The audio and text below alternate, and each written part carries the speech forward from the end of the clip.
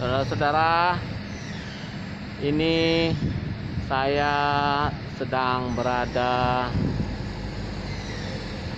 di pembangunan terminal tipe A anak air Kota Padang. Ini terminal dibangun oleh Kementerian Perhubungan dalam rencana kontraknya akhir Desember ini selesai. Dan kita bersama-sama mendukung untuk persiapan mengoperasionalkannya di awal tahun 2021